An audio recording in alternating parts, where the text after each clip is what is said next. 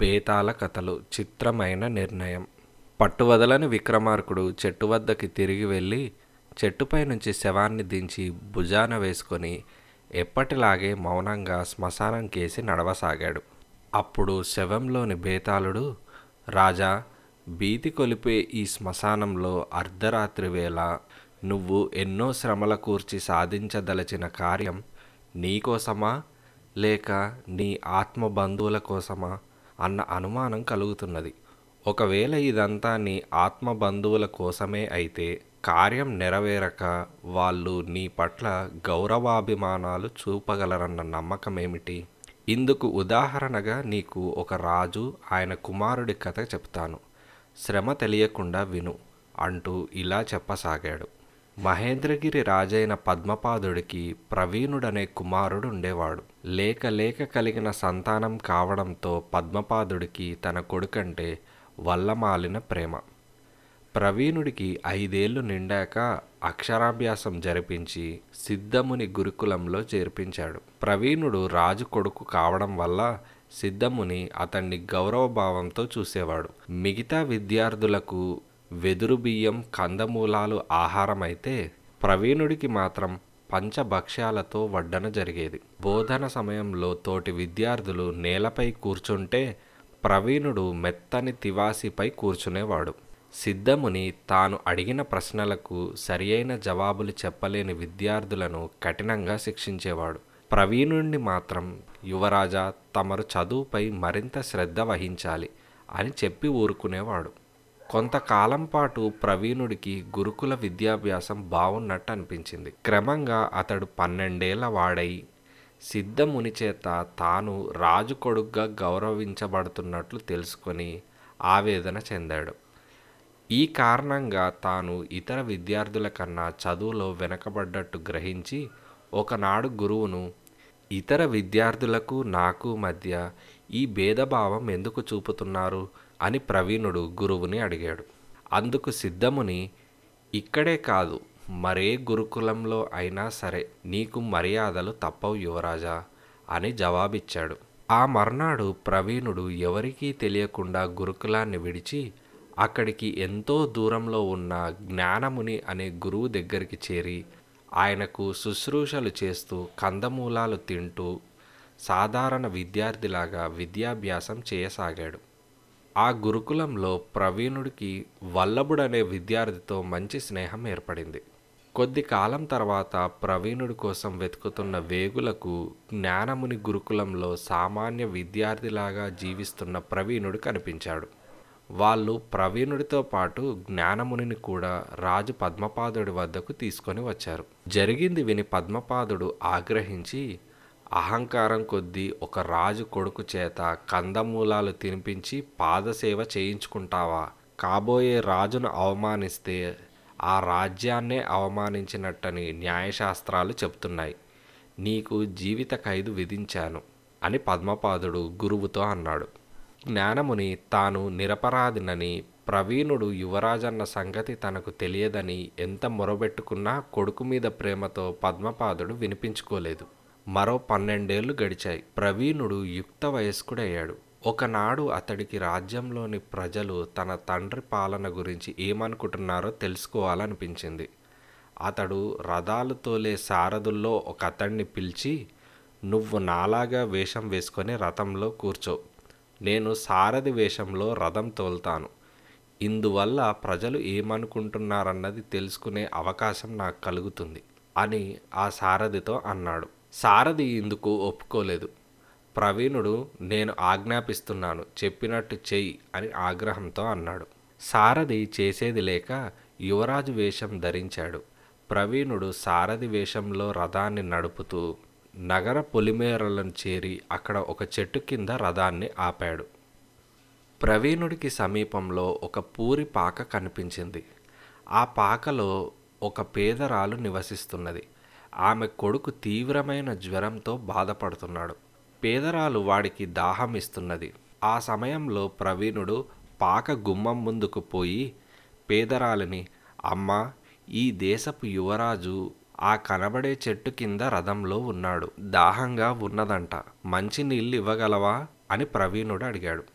అది వింటూనే పేదరాలి కొడుకు కంగారు పడిపోతూ అమ్మ ముందు యువరాజు గారికి దాహం ఇచ్చిరా. అలా చెయ్యకపోతే రాజుగారు తమ కొడుక్కు అడగగానే మంచినీళ్ళు ఇవ్వలేదని జ్ఞానమునిని శిక్షించినట్టు నిన్ను కూడా శిక్షిస్తారు. రోగిష్టినైన నేను నిన్ను కూడా పోగొట్టుకొని దిక్కులేని చావు చావవలసి వస్తుంది అని బాధతో ఆ కుర్రవాడు అన్నాడు. ఆ మాటలు సారథి వేషంలో ఉన్న ప్రవీణుడికి చాలా బాధ కలిగించాయి. అతడు కలత చెందిన మనసుతో రథం ఎక్కి కొంత దూరం వెళ్ళాక ఒక మలుపులో రెండు రథచక్రాలు ఊడిపోయాయి. రథం తలకిందులైంది. ఆ ప్రమాదంలో సారథితో పాటు ప్రవీణుడు కూడా చాలా బలమైన గాయాలు తగిలాయి. జరిగిన దానికి రాజు పద్మపాదుడు ఆగ్రహించి సారథిని దోషిగా నిలబెట్టి యువరాజు చేత రథం నడిపించడం రాచరికాన్నే అవమానించినట్టు. ఇందుకు గాను నీకు పదేళ్ళ కఠిన కారాగార శిక్ష విధిస్తున్నాను అని రాజు అన్నాడు. ఆ తర్వాత ప్రవీణుడు తండ్రిని ఏకాంతంగా కలుసుకొని తన ప్రోత్సాహ కారణంగానే సారథి తన వేషం వేసుకున్నాడని చెప్పి వాడి శిక్ష రద్దు చేయమని కోరాడు.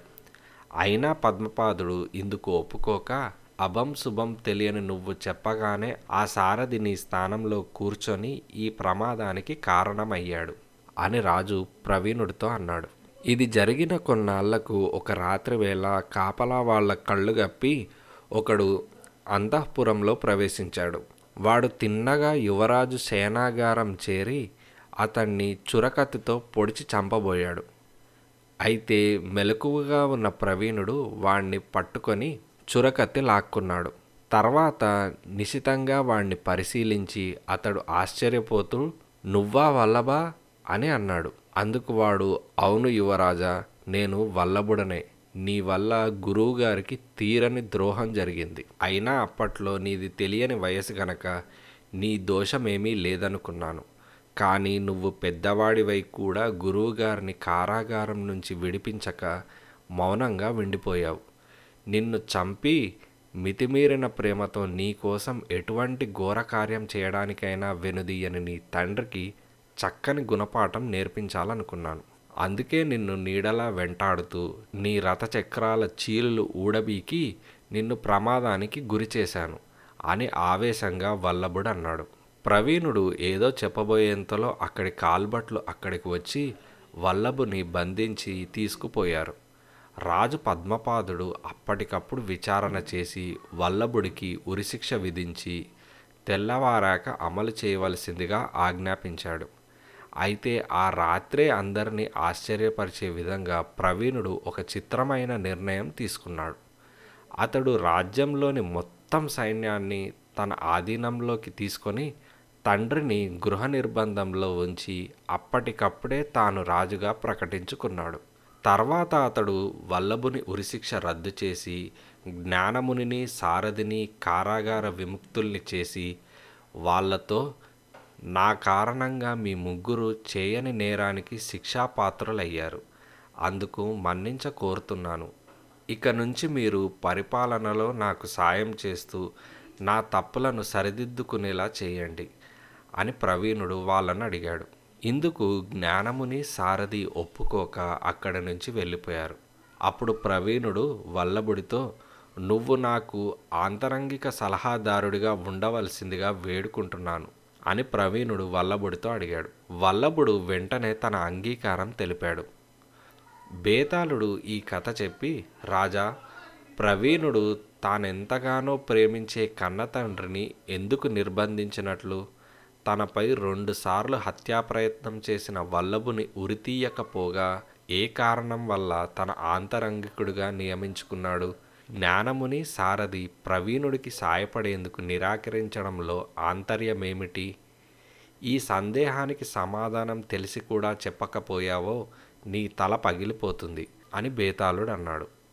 దానికి విక్రమార్కుడు ప్రవీణుడు మారువేషంలో ఉండి పేదరాలి రోగిష్టు కొడుకు అన్న మాటలు విన్నప్పటి నుంచి తన తండ్రి మితిమించిన పుత్రవాత్సల్యం కారణంగా లోక నిందకు గురి అవుతున్నాడని కొంతవరకు గ్రహించాడు.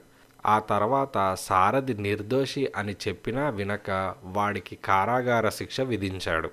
ఈ దశలో ప్రవీణుణ్ణి హత్య చేసేందుకు వచ్చిన గురుకులం నాటి మిత్రుడు వల్లభుడు గురువైన జ్ఞానముని కారాగార వాసం గురించి చెప్పి ప్రవీణుడికి జ్ఞానోదయం కలిగించాడు. తన తండ్రిగా రాజు ఉన్నంత వరకు ఎవరికీ న్యాయం జరగదన్న నిర్ణయానికి వచ్చిన ప్రవీణుడు వెంటనే తనను రాజుగా ప్రకటించుకొని ఆయనను గృహ నిర్బంధంలో ఉంచాడు. ఇక జ్ఞానముని సారథులు ప్రవీణుని కొలువు నుంచి ఎందుకు వెళ్ళిపోయారంటే వాళ్ళకు రాజుల సేవ ప్రమాదాలకు దారితీస్తుందన్న భయం తప్ప మరేం కాదు. వల్లభుడు మాత్రం ప్రవీణుడిలో వచ్చిన మార్పును సరిగ్గా అర్థం చేసుకొని అతడు కోరినంతనే ఆంతరంగిక సలహాదారుడిగా ఉండడానికి అంగీకరించాడు అని విక్రమార్కుడు అన్నాడు. రాజుకు ఈ విధంగా మౌనభంగం కలగ్గానే బేతాళుడు శవంతో సహా మాయమై తిరిగి చెట్టెక్కాడు.